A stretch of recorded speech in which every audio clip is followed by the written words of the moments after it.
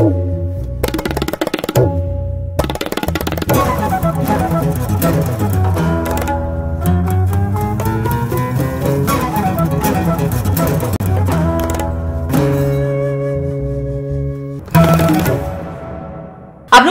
हमारे career segment की ओर और जानते हैं किस तरह से नए करियर विकल्प मौजूद होने की वजह से आधी आबादी को मिल रही है नई सोच। बात चाहे इंजीनियरिंग की हो टेक्नोलॉजी की आईटी की मेडिकल की या फिर आर्ट्स की, लड़कियाँ सभी क्षेत्रों में आगे बढ़ रही हैं और पुरुषों के साथ कंधे से कंधा मिलाकर सफलता की ऊंचाइयाँ छू रही हैं। देर प्रोग्राम कि जहाँ मेडिकल का बच्चा भी है डेंटल का भी बच्चा है इंजीनियरिंग का भी है फार्मेसी का भी है बायोटेक का भी है।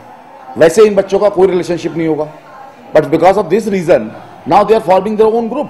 These days, Sanya Mirza, she's completely influenced girls towards the sporty types. Most of the girls are uh, nowadays wants to participate in sports rather to participate in any dancing competition because obviously आपको दोनों चीज़ों पे balance करना चाहिए ना because एक बंदे के अंदर बंदे के अंदर जनरेट होता है कि आप में अंदर क्या क्वालिटीज़ हैं और वो पहचाननी होती है कि आप स्पोर्टी हो म्यूजिकल हो या फिर uh, थोड़ा एडुकेशनल टाइप्स हो तो ये आपको अंदर खुद जानना पड़ता है और उसे आप फॉलो करो rather to generate you know completely education पहले एक इंडिविजुअल को जानना चाहिए कि हमारे अंदर कौन सी क्वालिटी है। उसके बाद हम आगे बढ़ सकते हैं। एजुकेशन और समाज में आ रहे बदलावों और डिमांड को देखते हुए अब एजुकेशनलिस्ट भी लीग से अलग हटकर बच्चों को कुछ नया देने की कोशिश कर रहे हैं। जहाँ जहाँ हमें सुधार लाना है या लाने की हम बात कर रहे हैं बहुत सारे पार्लियामेंट के सामने बिल्स भी आ रहे हैं। वहाँ व्यापक हम लोगों की आपस में स्टेक होल्डर्स के साथ जो लोग शिक्षा से जुड़े हैं उसमें गुरुजन हैं, उसमें मैनेज मैनेजमेंट में लोग हैं। जिन, जो लोग शिक्षा से जुड़े हैं, उनके साथ हमारी व्यापक चर्चा की आवश्यकता है डायलॉग की आवश्यकता है। नहीं है।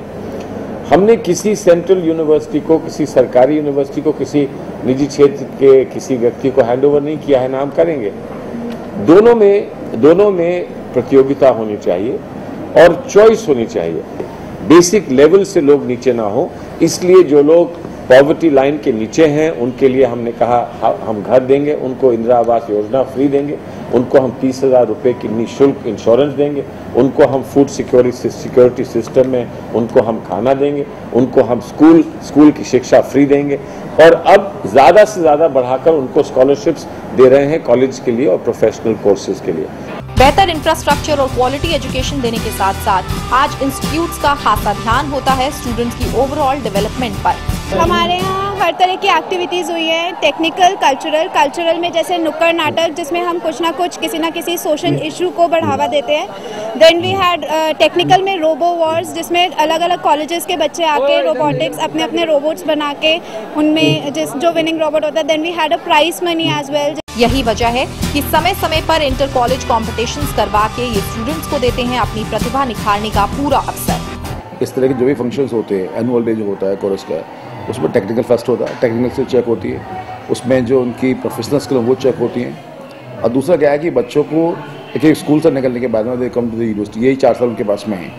So all this four years they are become youth now they want do something differently in life they lot of skills music song culture Europe वगैरह में तो something is very common India में अब इसको धीरे धीरे प्रमोट किया जा रहा है और इससे जो बच्चों में कॉन्फिडेंस बिल्टअप होता है नेटवर्किंग बिल्टअप होती है, आपस में इंटरपर्सनल रिलेशनशिप जो बिल्टअप करते हैं, जो एक दूसरे के, अब जैसे यहाँ पे सत्ताईस स्टेट के बच्चे हैं। अब एक म्यूजिकल कंसर्ट हो रहा है या कोई ग्रुप डांस हो रहा है तो उसमें तमिल वाला भी हो सकता है आंध्रा वाला भी होगा, पंजाबी भी होगा, और शायद वो गुजराती भी होगा।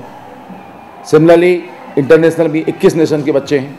ये आपस में इंटरेक्शन करते हैं। ऑल सच इवेंट्स आर चाहे स्पोर्ट्स एक्टिविटीज़ हो, चाहे म्यूजिकल एक्टिविटीज़ हो, चाहे डांस एक्टिविटीज़ हो, चाहे वो सोलो कॉम्पिटिशन हो, चाहे वो अपना ये कॉल्ड ये टैटू कंपटीशन हो।